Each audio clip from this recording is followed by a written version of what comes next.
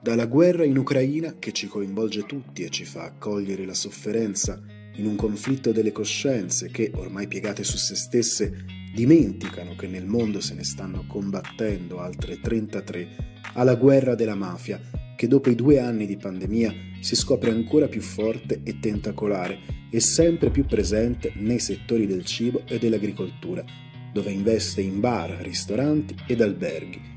È la variante criminale, la più pericolosa, da combattere ogni giorno per liberare la filiera dell'agroalimentare italiano dalle tante forme di schiavitù cui la sottopone la malavita. Hawaii News dalla Slow Wine Fair organizzata da Bologna Fiere con la direzione artistica di Slow Food, la lezione di Don Luigi Ciotti, fondatore di Libera. Sì, io ho augurato a tutti, nessuno escluso, un conflitto, il conflitto delle nostre coscienze perché ci sono troppe coscienze addormentate, addomesticate, manipolate. Abbiamo bisogno di essere delle coscienze inquiete, perché una coscienza inquieta ritrova le motivazioni per lottare contro quegli altri conflitti che sono le guerre. E noi da 150 anni abbiamo una guerra, tra virgolette, all'interno del nostro paese che si chiama mafia.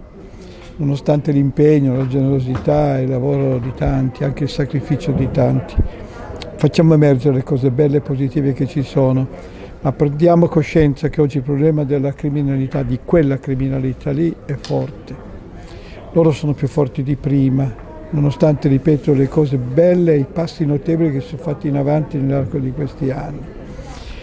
E quindi dobbiamo stare attenti perché una delle fonti dei loro investimenti, hanno tanto denaro liquido da investire, è proprio nell'agricoltura, in queste aziende agricole nella filiera del, dell'agroalimentare. Ecco, loro lì investono, hanno denaro, acquistano in contanti, ristoranti, eh, li troviamo nei grandi mercati ortofruttiferi e quindi, ripeto, ci vuole molta testa, molto, anche molto cuore. Eh, l'ho detto forte a tutti questi ottimi persone che operano, che credono nel loro prodotto, che dà loro dignità, perché il lavoro è dignità.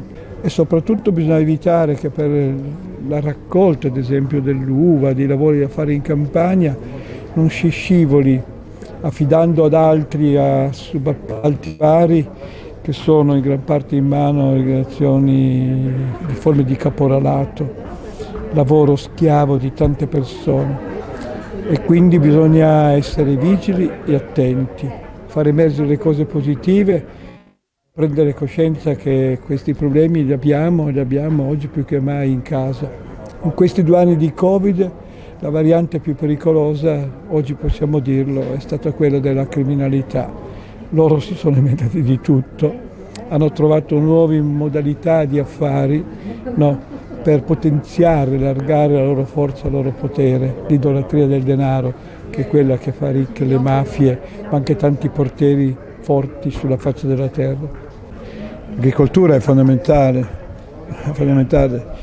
L'85% degli esseri viventi sulla faccia della terra sono i vegetali gli esseri umani siamo solo il 3%.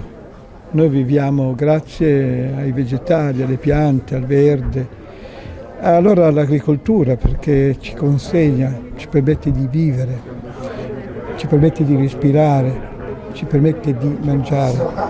Ecco allora che dobbiamo veramente non dimenticare, io non chiamo tanto di transizione, preferisco l'invito che ha fatto Papa Francesco di conversione, una conversione verso un'ecologia integrale che mette insieme che disastri ambientali, i disastri sociali non sono due crisi diverse, ma un'unica crisi socio-ambientale. Allora dobbiamo lottare, lottare tutti, ognuno per la propria parte, con i propri ruoli, per i diritti umani, ma nello stesso tempo per i diritti della natura. E dobbiamo diventare capaci di ascoltare veramente il grido della terra, il grido delle nostre montagne, del nostro mare, il grido delle nostre campagne. La terra grida, la terra grida tocca a noi rispettarla, farla vivere.